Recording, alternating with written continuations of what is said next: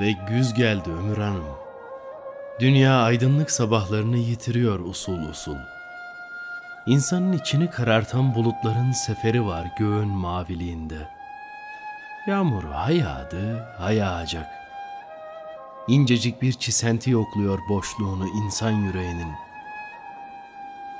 Hüznüm bütün koşulları hazır. Nedenini bilmediğim bir keder akıyor damarlarımdan. Kalbimin üstünde binlerce bıçak ağzı. Ve yüzüm ömrümün atlası. Düzlükleri bunaltı, yükseklikleri korku, uçurumları yıkıntılarımla dolu bir engebeler atlası. Yaşamak bir can sıkıntısı mıdır Ömür Hanım? Her şeyi iyi yanından görmeyi kim öğretti bize? Acıyı görmeyen insan, mutsuzluğu yaşamayan, iliklerine de kederin işleyip yaralamadığı bir insan, mutluluktan, umuttan, sevinçten ne anlar? Göğü görmeden, denizi görmeden maviyi anlamaya benzemez mi bu? Bir güz düşünün ki Ömür Hanım, ilk yazı olmamış, yazı yaşanmamış. Böyle bir güzün hüznü hüzün müdür? Başlamanın bir anlamı varsa bitişi göze almak. Bitişin bir anlamı varsa başlangıcı olmak değil midir? Yaşamı düz bir çizgide tutmak tükenmektir. Yaşamak zorunda olduğumuz şunca yılı aykırı uçlar arasında gezdirip geçirmedikçe, alışkanlıkların sınırlarını aşmadıkça zaman zaman yaşamak nasıl yenilik olur tükenmek değil de?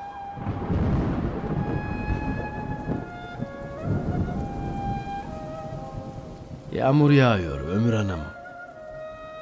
Gökten değil, yüreğimin boşluğundan ömrümün ıssız toprağına. Ve ben sonsuz bir düzlükte bir küçücük, bir silik nokta gibi eriyip gidiyorum. Seslensem kim duyar sesimi yalnızlıklar katından? Dönelim. Dönmek yenilmektir biraz da. Yarım kalmasıdır çıkışlarımızın. Korkaklıktır. Alışkanlıkların güvenlik küflü kabuklarına sığınmaktır. Olsun. Dönelim biz yine de. Bilincinde olmadan üstlendiğimiz sorumluluklarımız var. Evlere dönelim. Sırtımızın kamburu evlere. Cılızlığımızın görkemli korunaklarına. Yalnızlığımızın kalelerine dönelim. Ölçüsüz yaşamak bize göre değil Ömür Hanım. Büyürken geniş ufuklarımız olmadı bizim. Küçücük avuçlarımızla sınırlarımızı genişletmek istedikçe yaşamın binlerce engeli yığıldı önümüze. Hangi birini yenebilirdik bunca olanaksızlık içinde? Umutsuzluğu tanıdık. Yenilgiyi öğrendik böylece. Yaşama sevinci adına bir tutamağım kalmadı Ömür Hanım. Bir garip boşlukta çiviliyim günlerdir göz bebeklerimden. Sahi nedir yaşamın anlamı? Geriye dönüyorum sık sık yanıt aramak adına. Yüreğimin silik izler bırakıp ağır yükler aldığı zamanın derin denizlerine. Bakıyorum umut karamsarlığın, sevinç acının azıcık soluk almasından başka ne ki? Yaşamsa gerçekle düşün umutsuz bir savaşı, her şeyi içine alan kocaman bir yanılsama. Değil mi yoksa?'' Öyle büyük umutlarım olmadı benim. Büyük düşlerim, özlemlerim, büyük beklentilerim olmadı. Koşullarım beni oluşturdu, ben acılarımı buldum. Herkes gibi yaşasaydım eğer yaşamı onlar gibi görebilseydim, çarşılar yeterdi beni avutmaya.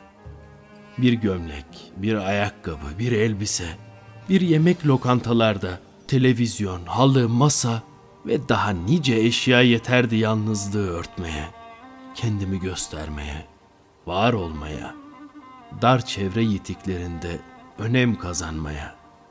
Oysa ben bir akşamüstü oturup turuncu bir yangının eteklerine, Yüreğe avuçlarımda atan bir can yoldaşıyla dünyayı ve kendimi tüketmek isterdim.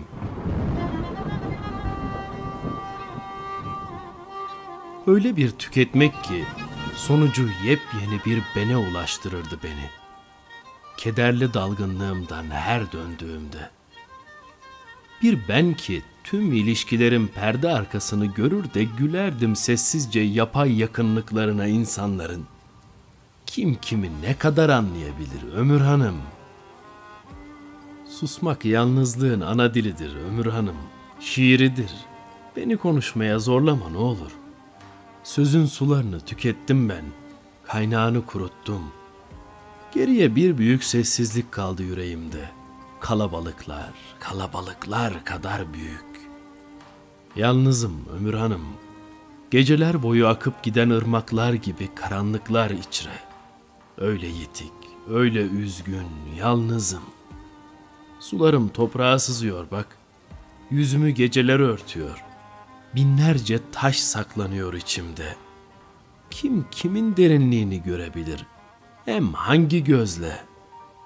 Kendilerinin olan tek sözcük yok dillerinde. Öyle çok konuşuyorlar ki. Bir söz insanın neresinden doğar dersiniz? Dilinden mi? Yüreğinden mi? Aklından mı? Düşlerinden mi yoksa gerçeğinden mi? Ve kaç kapıdan geçip yerini bulur bir başka insanda? Yerini bulur mu gerçekten?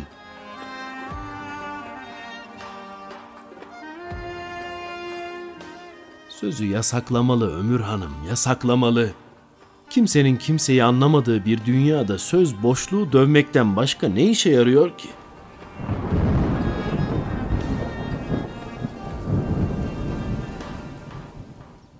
Olanağı olsa da insanların yürekleri konuşabilseydi dilleri yerine her şey daha yalansız, daha içten olurdu. Aklı silmeli diyorum insan ilişkilerinden. Yanılıyor muyum? Olsun. Yanıldığımı biliyorum ya. Yeni bir şeyler söyle bana ne olur. Yeni bir şeyler. Kurşun aktı kulaklarıma hep aynı sözleri, aynı sesleri duymaktan. Belirsizlik güzeldir de örneğin. Kesinlik çirkin. Sessizlik sesten, hele de güncel ve kof her zaman iyidir. Düş gücü, iç zenginliği verir insana. Dünyanın usul usul ağaran o puslu sabahları ve günün turuncu tülleriyle örtünen dingin akşamları bu yüzden etkiler bizi, duygulandırır de. Anlık izlenimler sürekli görünümlerden her zaman daha güçlü, kalıcı ömürlüdür. Alışkanlıklar öldürür güzelliğimizi, bizi değişmek çirkinleştirir de. Kimse düşlerine yetişemez ve kimse geçemez gerçeğini bir adım bile. Bu yüzden sıkıntı verir zaman, kısa kalır, sonsuz olur. İnsanın küçücük ömrünün karşısında istemenin kuralı yoktur de. Açıklaması sınırı suçu yoktur. İstemek yaşamın kendiliğinden sonucudur. Ne haklı, ne haksız, ne yerinde, ne yersiz. Biz hepimiz dikenli tellerle sarılıyız. Her ilişkide bir parçamız kalır ve bölüne bölüne biteriz de. En büyük hünerimiz kendimize karşı olmak, aykırı yaşamaktır, acı kaynaklarımızı kendi ellerimizle yaratarak. Kıyılarımız duygularımızın boyunda, derinliğimiz aklımızın ölçüsündedir. Ufuklarımızsa sisler içinde. O kıyısız gökyüzü nasıl sığar küçücük gözlerimize, bir bardak suya, demirli pencereye, nasıl gizleriz ağız dil vermez bir geceye. Ve nedir ki gizi, daraldığımız her yerde bir genişlik duygusu verir içimize. Çözemeyiz de bu güdük bilinç, bu sığ yürek, bu ezbere yaşamla. Dünya bir testidir de Ömür Hanım. Ömür bir su. Sızar iğne ucu gözeneklerinden zamanın. Bir içim serinlik, bir yudum mutluluk için. Ve bir gün ölümün balkonundan dökülür toprağa el içi kadar bir su. Yerde birkaç damla nem, bir avuç ıslaklık. Ölümü bilerek nasıl yaşar insan? Geride dünyanın kalacağını bilerek nasıl ölür? bilmek bütün acıların anasıdır de. Sars aklımın cılız ayaklarını, kuşat beni. Değişik bir şeyler söyle ne olur. Yeni bir şeyler söyle. Yıldım ömrümün kalıplarından. Beni duy ve anla.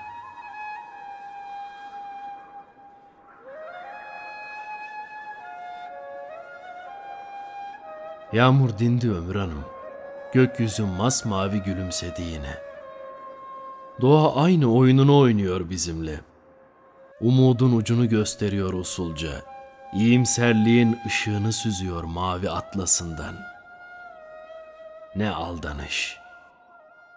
Bulutların rengi mavi beyaz mıdır? Kurşuni kül rengi mi yoksa? Gökyüzünü öpmek isterdim Ömür Hanım. Gözlerimle değil, dudaklarımla. Yoruldum bulutları kirpiklerimde taşımaktan. Delilik mi dedin? Kim bilir? Belki de yerde sürünmenin bir tepkisidir bu. Ya da ne bileyim, bilinçsiz bir aykırı olmak duygusu. Gökyüzü de olmak isteyebilirdim değil mi? Kim ne diyebilir ki? Kimseler görmedi Ömür Hanım. Bu dünyadan ben geçtim. İçimde umudun kırk kilitli sandıkları, elimde bir avuç düş ölüsü yüreğim. İçinde senin ve benim ağırlığım, benim olmayan bir garip gülümsemeyle yüzümde, incelik adına ben geçtim. Yerini bulmamış bir içtenlik, yanılmış bir saygı ve bir hüzün eğrisi olarak ilişkilerin gergefinde ördüm ömrümün dokusunu ilmek ilmek. Eh, beni cam kırıklarıyla anımsasın insanlar. Savrulan bir yaprak hüznü ve dağınıklığıyla yükümü yanlış bedestanlara çözdüm. Ezilmiş bir gül hüznü var yüreğimde. Saatlerce dayak yemiş bir sanığın çözülmesi içindeyim. Ürperiyorum.'' bir at kestanesi durmadan yaprak döküyor yalnızlığın sokaklarında.